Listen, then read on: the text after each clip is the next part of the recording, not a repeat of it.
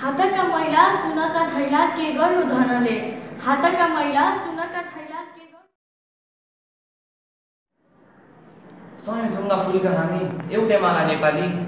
सय थुङ्गा फुलका हामी एउटै माला नेपाली। हातका मैला सुनका थैला के गर्नु धनले? हातका मैला सुनका थैला के गर्नु धनले? दुई दिने जीवन मरेर लानु के छ र साथी? समाज सेवा गराउन निस्वार्थी मनले। समाज सेवा गराउन निस्वार्थी मनले। धन्यवाद कार्यक्रम सञ्चालकज्यू। आजको यस समाज सेवा विषयक वक्तित्व कला प्रतियोगिताका सभाध्यक्ष महोदय न्यायमूर्ति निष्पक्ष न्याय मण्डली गुरुवर्ग एवं मेरा प्यारा प्यारा साथी साथीहरूप्रति म प्रतीक्षा पौडेल नमन प्रकट गर्दै आफ्नो विषयवस्तुतर्फ प्रवेश गर्ने अनुमति चाहन्छु। साँच्ची नै समाज सेवा शब्द सुन्दा मनमा निकै सन्तुष्टि अनि शान्ति छाउने गर्दछ। मैले हजुरहरूलाई इतिहासका कुनै दस धनी व्यक्तिको नाम सोद्धा सायद हजुरहरू अक्मकिनुहोला तर मलाई विश्वास छ मैले इतिहासका कुनै दस समाजसेवकको नाम सोद्धा हजुरहरू निर्धक्क जवाफ दिनुहुनेछ। अर्थात् जसले समाजलाई नयाँ दिशामा डोर्याए जसले समाजको हितका लागि बाँचे उनीहरू आज आकाशको चम्किलो तारा बनेर अमर रहिरहेका छन्। प्राचीन कालदेखि नै हामी देख्दै सुन्दै आइरहेका छौँ कतिपय मानिसले समाजको हितका लागि अर्काको भलाइका लागि आफ्नो निजी सम्पत्तिको समय उपयोग गरेका छन्। भै भौतिक सम्पत्ति नाशवान छ र मानिसको जीवन कर्कलाको पानी जस्तो क्षणित छ।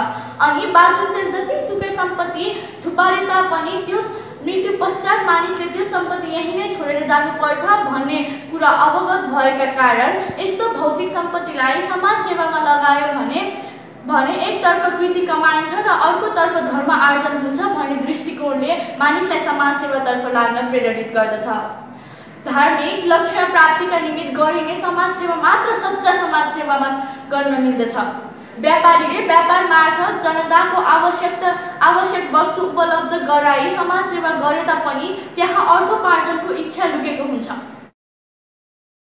पहिलेको समयमा दिन रात गरी रगत पसिना बगाई ल्याएको अन्न समेत समाजमा बाँडीचुरी खाने गर्दथे। तर अहिले अर्काको कसौडीको चामल पनि आफ्नो कसौडीमा हाल्न पुग्छन् हाम्रा समाजका मानिसहरू। कपाल फुली चाउरी परेका आफ्ना बुढाबा आमालाई वृद्ध आश्रममा छोडी घरमा कुकुर ल्याएर पालिरहेका छन्। आजभोलि हाम्रो समाजबाट समाज सेवाको भाव गुम्दै गइरहेको छ।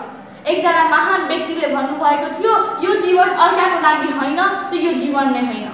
हाम्रो समाजमा बालबालिकालाई सानै उमेरदेखि तिमीले केही गर्नुपर्छ आफ्नो लागि गर्नुपर्छ धेरै सम्पत्ति कमाउनुपर्छ अनि ठुलो मानिस बन्नुपर्छ भनेर सिकाइन्छ।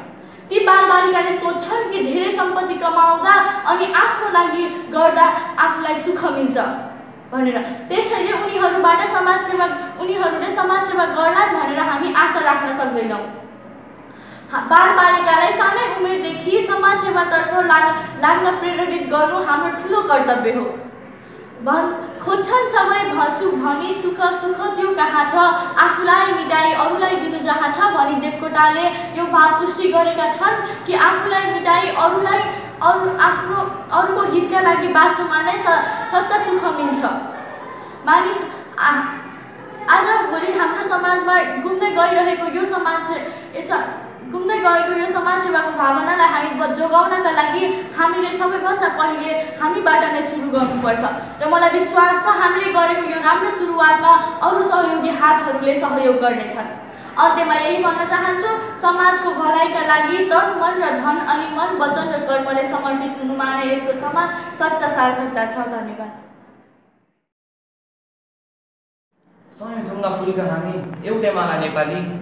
सय थुङ्गा फुलका हामी एउटै माला नेपाली विशाल छ नेपाली संस्कृति बाँचौ शिर उचाली विशाल छ नेपाली संस्कृति त्यसैले बाँचौ शिर उचाली तर विडम्बना पश्चिमेली संस्कृतिले भित्र्यायो विसङ्गति विकृति। तर विडम्बना पश्चिमेली संस्कृतिले भित्र्यायो विसङ्गति विकृति। हराउँदै गएको छ समाजमा हाम्रो नेपाली संस्कृति। हराउँदै गएको छ समाजमा हाम्रो नेपाली संस्कृति। धन्यवाद कार्यक्रम सञ्चालकज्यू। आजकै सभाका सभापति महोदय प्रमुख अतिथिज्यू दुधको दुध र पानीको पानी छुट्याउनु बस्नुभएको हाम्रा निष्पक्ष निर्णायक मण्डल गुरुवर्ग र मेरा प्यारा विद्यार्थी साथीहरू। सर्वप्रथम त्यहाँ सम्पूर्णमा म जोनरानाको तर्फबाट न्यानो अभिवादन ढोक्याउन चाहन्छु। आजको यस बोलाइ परीक्षामा आफ्नो सहभागिता जनाउन पाउँदा आफैले आफैलाई निकै गर्वशाली ठानेको छु। आज म आज म यस बोलाइ परीक्षामा नेपाली संस्कृति विषयमा आफ्नो अभिव्यक्तिहरू राख्न गइरहेको छु। अनेकतामा एकता वीरतामा आत्मीयता राष्ट्रियतामा स्वाभिमानता भएको देश हो मेरो नेपाल। जुन ठाउँमा गौतम बुद्ध जन्मिए हुर्किए जुन ठाउँमा सूर्यको पहिलो किरण सगरमाथाको मुस्कानमा जान्छ जुन ठाउँमा माता सीता र माता भ्रिकुटी जन्मिए हो त्यही पवित्र गङ्गाको जल हो मेरो देश। स्वर्गबाट टुक्रिएर धरतीमा छरेको स्वर्गको टुक्रा मेरो देश अनुपम सौन्दर्यमा त धनी छँदैछ।